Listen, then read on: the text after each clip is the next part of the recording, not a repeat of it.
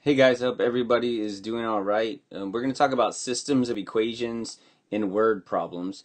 And we've been talking about systems of equations. And remember that a system of equations is when you have more than one equation. So we've been looking at system of equations. We have two equations and um, we graph them. We try to solve um, the system of equations. And what we're going to look at here is word problems that involve systems of equations and um, we got to basically write them, find the equations. These will these will have two equations that we'll write, and then I can show you how to solve them. We can plug them into Desmos actually, and graph them and find a pretty easy solution. I'll show you that. Um, but the main part is got to be able to write them. So remember that a system of equations. One more time. I'm just going to scribble this in, but remember that's uh, more than one. More than one equation. Okay, so that's what we're doing when we're talking about a system of equations more than one equation. Let's look at this word problem and see if we can get a system out of this. So it says Lizzie and Noah each took their families to a comic book show. Lizzie spent $25 on adult tickets for herself, her husband, and children's tickets for her three children. Noah spent $20 for an adult ticket and four children's tickets. All right. So it seems like there's a lot going on there, but what it really is is we have two different sets of information. We have Lizzie's set of information. So she uh, we know she spent $25 on some tickets. We don't know how much each ticket costs, like how much are adult tickets, how much are the child's tickets. We, we don't know. That's kind of what we're going to write the system to solve. So we have Lizzie's information, and then Noah has kind of a similar but a different situation happening with this the tickets that he got. So first thing I'm going to do is I'm going to write it out, and we'll get some variables out of this, and then we can put these into two equations. So we'll write an equation first for Lizzie. So I'm just going to put this down here. Lizzie's, going back to that sentence for her, Lizzie spent $25 on adult tickets for herself and her husband. So adult tickets for herself and her husband, well that's two two adult tickets that she got for herself and her husband. And then it says children's tickets for her three children. So then she got three of the children's tickets. So I'm just going to use, and I'm using variables, the A and the C, A for adult tickets, C for children's tickets. We'll probably change those to X and Y when we solve, but I'm going to leave them like that right now. And uh, we know she spent $25. I'm going to include that too. I'll just put a 25 down there. That's Lizzie's info. Let's look at Noah's. So Noah, a little different. Noah's over here. He didn't buy as many. He only got one. So Noah spent $20 on an adult ticket, so he only got one adult ticket. Go back and do that in blue, so you got one adult ticket and four children's tickets right over there. So he had four children's tickets, and then he spent $20.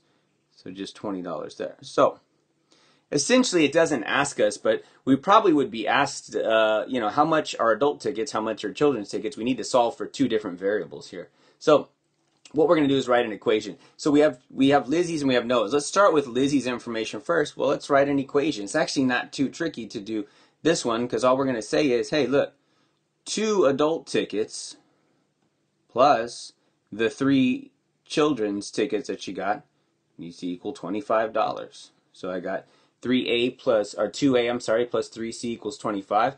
That's a check off for Lizzie's information right over there. That's a good equation there. Let's continue our system and let's go into Noah's. So for Noah's, we've got one adult. So I'm just going to put A. I'm not going to put the 1 with it. I'm just going to put A plus the 4C for children's tickets. And that's going to equal $20. So basically, that's the system right there. That is actually the answer for the system of equations that we can write from the word problem. We can solve it. I'm going to show you that real quick. But if some some questions, some prompts will just say, "Hey, just solve for the system." Bam, there it is. We got it. We're good to go. Okay. Now let's say we need to solve. We need to figure out what is what is the value for A and C in all these. Okay. How much is an adult ticket? How much is one of the children's tickets? Well, what we can do is I'll show you real quick. Is we can go into sorry, I was going to shrink that down, but we can go into Desmos. So Desmos, I've shown you, you can go online. You can access Desmos on your Chromebook, iPad, on your phone. It's very accessible. It's it's very powerful. It's pretty easy to use, um, and you don't have to sign up or anything. You can just hit the graphing calculator. So you can pull up Desmos, and I show you. I can't really switch straight over to the app on this program, but I can show you some screenshots of how I did this. So all I did is I pulled up the graphing calculator on Desmos. I had my equations, which I'm sorry, right here, 2a plus 3c equals 25. So I had 2a plus 3c equals 25, and then a plus 4c equals 20. All you need to do is Desmos is you need to make sure your variables are x and y. So the a and the c here, and it doesn't really matter. I could have put them as x and y at the beginning. It doesn't really matter what your variables are. I kept them as they, they kind of made sense in this word problem. But I could rewrite this whole equation, this whole system of equations as 2x plus 3y equals 25. And then I can do the second equation is x plus 4y equals 20. And that's actually what I'm going to do in this case because if we solve for it, this is how we have to plug it into Desmos. So I go over to Desmos. I go at the top left right over here in that spot right over there. I'm going to plug in the first equation, which was 2x plus 3y equals 24. Once you plug that in, it's going to graph the line, and you're going to get this line right over here. It has this blue line that's going across. Then we just go down to the right below that. We put the, the graph of the second equation in, x plus 4y equals 20, and it graphs the second line. So I've got the blue line and the green line. What I'm looking for now if I want to solve is, where do the lines intersect? Where do they intersect? Right at that spot. There's a little gray dot there. If you click on that dot on Desmos, bam, it gives us the answer to the system right there.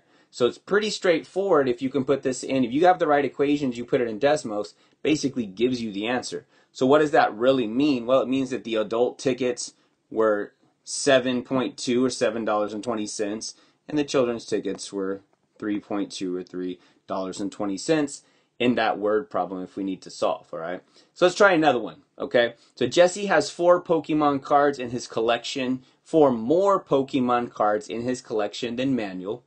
Together, they have a total of 20 Pokemon cards. How many cards do both Jesse and Manuel have? Okay, now we need to solve, but let's go ahead and let's get our equation going. All right, so we can say to start with, this first piece is Jesse has four more Pokemon cards, four more Pokemon cards in his collection than Manuel.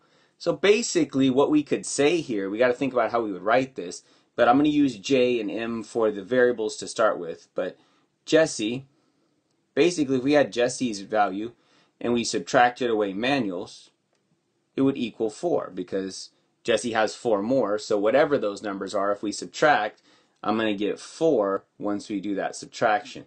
So that would be the first equation I can write for basically this first piece of information that we get in the word problem right there. Now, says secondly, together they have a total of 20 Pokemon cards. Well, that's not too bad. That means Jesse's amount plus Manuel's amount, our second part to complete our system, equals 20. So bam, that's our system of equations right there. So now we could solve it. And I have j minus m equals 4 is 1, j plus m equals 20.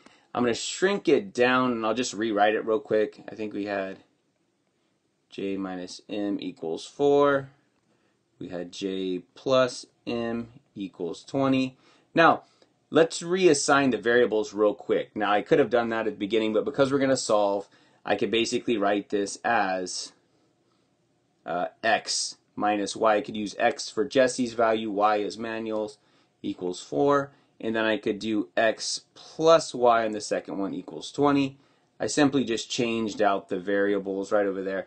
Because now, now that we have the system of equations, I can go back into Desmos, so I'll pull it up again, go back over to Desmos, just like I did last time, and I'll plug my equations in. So I put the first one in, x minus y equals 4. It graphs that first line in purple. Got it going right there, looks good.